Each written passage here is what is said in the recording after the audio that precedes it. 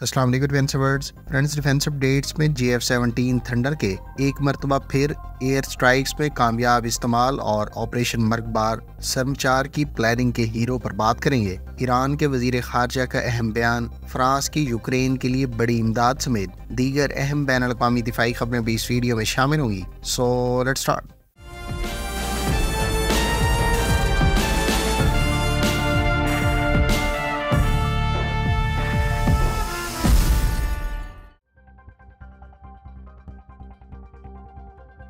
Friends अफवाज पाकिस्तान की जानब से ईरान की तरफ़ से मिसाइल हमले के बाद जो दहशत गर्दों के खिलाफ ईरान में जवाबी कार्रवाई की गई है, वो जहाँ वेरी वेल कैलकुलेटेड थी, वहीं इससे एक जिम्मेदार मुल्क और अपने दिफा की भरपूर सलाहियत रखने वाले मुल्क के तौर पर अब तारीख का हिस्सा रहेगी। खास तौर पर पाकिस्तान एयरफोर्स जो हमेशा से मुल्क और कौम के लिए फखर की अलामत रही है, उसने हालिया दिनों में ईरान की हिमाकत के बाद किए जाने वाले ऑपरेशन मर्गबार सरमचार में भी अहम किरदार अदा किए है। इंटेलिजेंस रिपोर्ट्स और पाकिस्तान एयरफोर्स की जानब से अपने एसेट्स के ज़रिए दहशत गर्दों के ठिकानों की निशानदेही और इनको कामयाबी से निशाना बनाने और इस कार्रवाई में मुख्तलिफ़ एसेट्स के कम्बिनेशन और इन एसेट्स में सिनर्जी का बेहतरीन मुजाहरा किया गया है। पाकिस्तान एयरफोर्स और दीगर ब्रांचेस जैसा कि आर्मी और नेवी के साथ कोऑर्डिनेशन और सिंक्रोनाइजेशन को अमली तौर पर इस ऑपरेशन के दौरान डेमोन्स्ट्रेट किया गया है, जहाँ पाकिस्तान आर्मी की रॉकेट फोर्स के जेर इस्तेमाल फतह सीरीज़ के guided multiple launch rocket systems को पहली मरतबा रियल केस सिनेरियो में कामयाबी से इस्तेमाल किया गया है।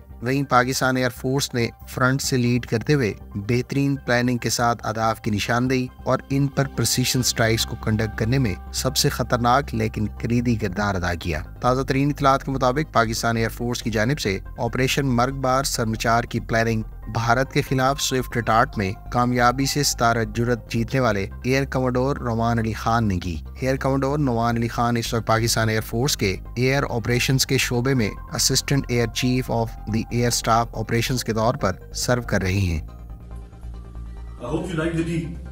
The tea is fantastic. Thank you. Okay.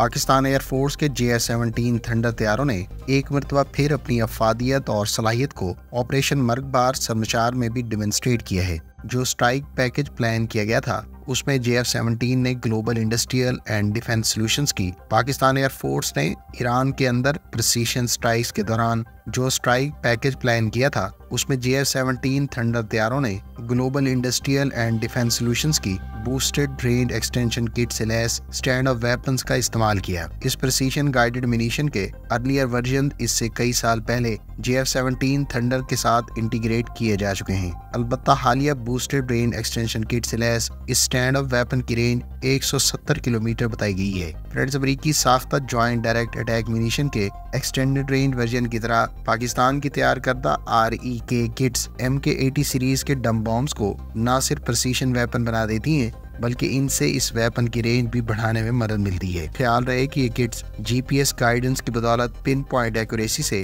अदाफ को निशाना बनाने में मदद देती है। पाकिस्तान एयरफोर्स की जानब से ये पहली मरतबा है कि air to ground strike package में मिराज तैयारों को इस्तेमाल नहीं किया गया और इस स्ट्राइक पैकेज में फाइटर जेट्स में ये किरदार जे एफ़ सेवनटीन थंडर तैयारों और अमरीकी साख्ता एफ़ सिक्सटीन ने सर अंजाम दिया है। यहाँ ये बात काबिल ज़िक्र है कि J F seventeen thunder export customers के लिए भी इस वक्त वाहिद low cost multi role combat aircraft है, जो दो मुख्तलिफ़ ओकेजन पर एयर डिफेंस के अलावा एयर फोर्स रखने वाले ममालिक की हदूद में जाकर सक्सेसफुल स्ट्राइक्स कंडक्ट कर चुका है। इसके अलावा एक्सपोर्ट कस्टमर्स इसे बगैर किसी स्ट्रिंग्स के साथ अक्वायर इंडक्ट और इसके साथ कई तरह के वेपन इंटीग्रेट कर सकते हैं, जिसमें पाकिस्तानी ओरिजिन के अलावा चाइनीज़ और मुतल मुल्क के मकामी वेपन्स भी शामिल हैं।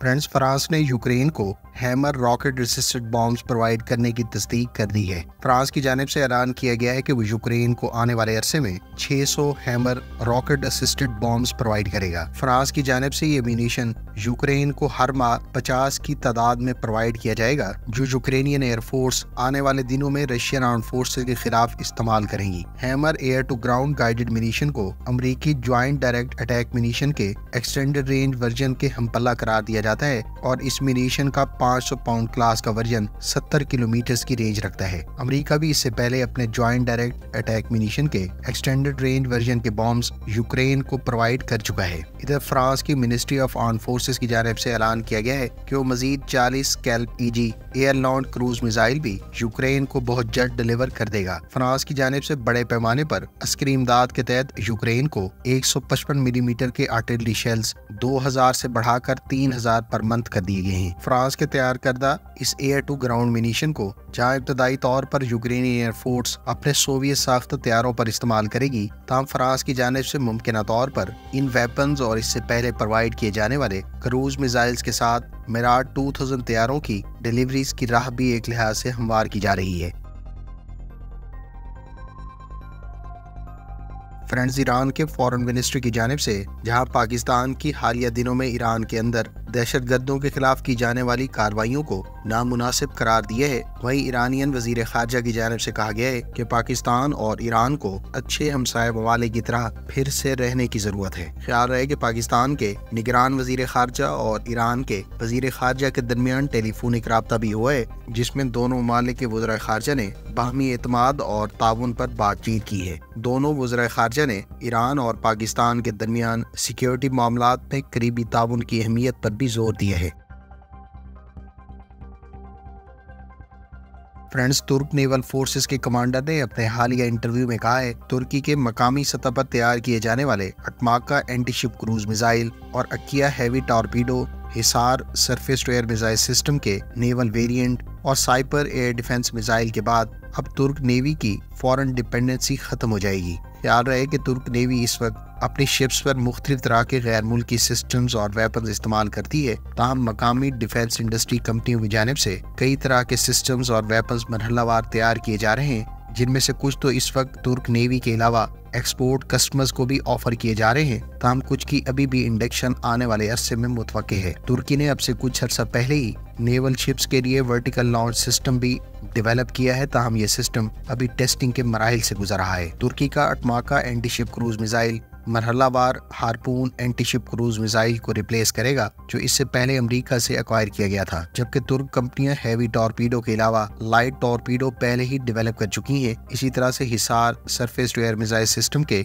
ग्राउंड लॉन्च वेरिएंट्स पहले ही तुर्क आर्म फोर्सेस के जेर इस्तेमाल हैं। तुर्की ने इस वक्त नेवल शिप्स के लिए कई तरह के रेडार्स डेवलप कर लिए हैं, जबकि इलेक्ट्रॉनिक काउंटर मेजर्स और इलेक्ट्रॉनिक स्पोर्ट सिस्टम्स के अलावा नेवल गन्स और क्लोज इन वेपन सिस्टम्स पहले ही डेवलप और इंटीग्रेट किए जा चुके हैं।